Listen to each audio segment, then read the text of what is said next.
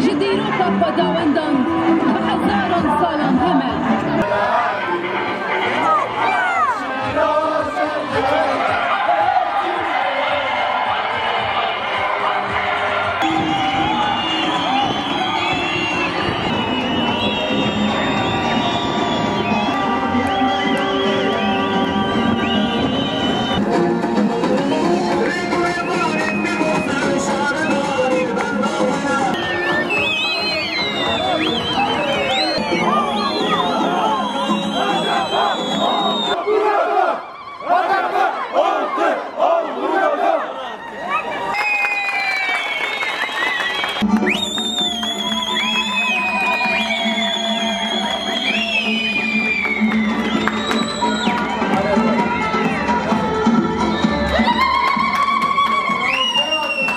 you.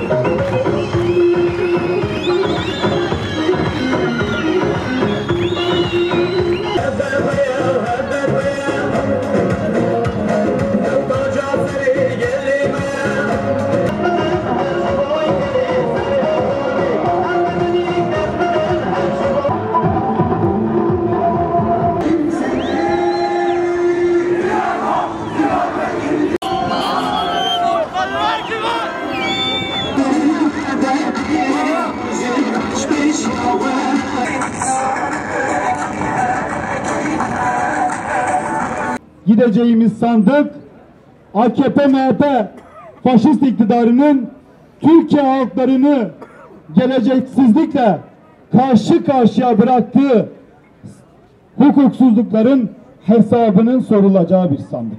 Hayırlı işler.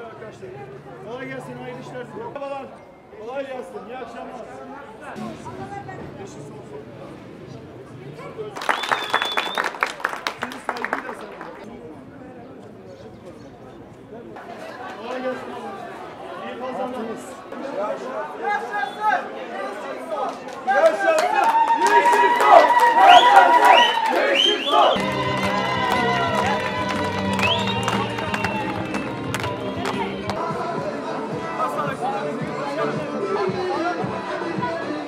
Yoksulluk kader değil.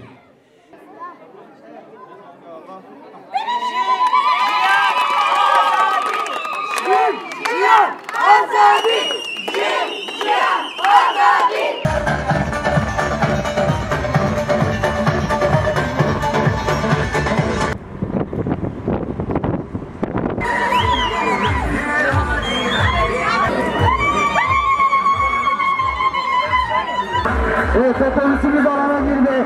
Bayrakları coşkuyla sallayalım.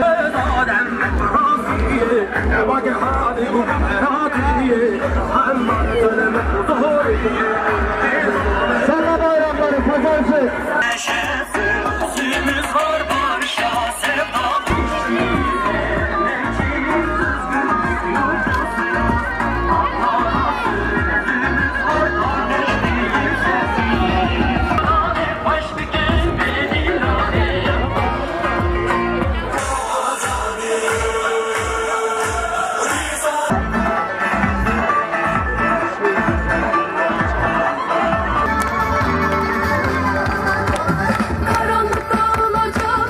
gençler doğduğumuz günden beri bu iktidarla gözümüzü açtık.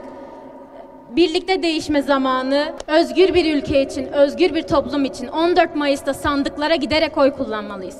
Biz kadınlar, biz gençler umutlu bir sabah 15 Mayıs sabahına uyanmak için oyumuzu Yeşil Sol Parti'ye vermeliyiz.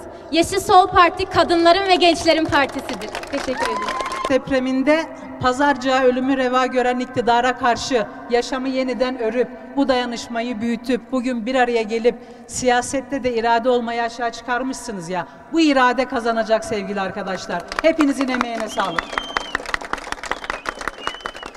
6 Şubat depreminde yitirdiğimiz bütün yurttaşlarımıza, canlarımıza Allah'tan rahmet ve Ee, Yol arkadaşlarımıza da yakınlarını kaybeden halkımıza da başsağlığı dilemek istiyorum tekrardan.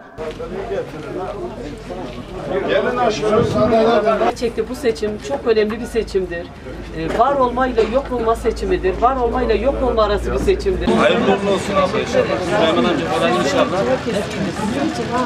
Size daha güzel bir gelecek bırakmak için Her zaman yanınızdayız biliyorsun. Sağ olun. Geçmiş olsun. Büyük bir felaket yaşandı. İnşallah yakınlarınızda bir şey yoktur. Yok inşallah. O da bizim tesellimiz olsun. Sağ olun. iyi günler. lazım diye Teşekkür ederim. Özgür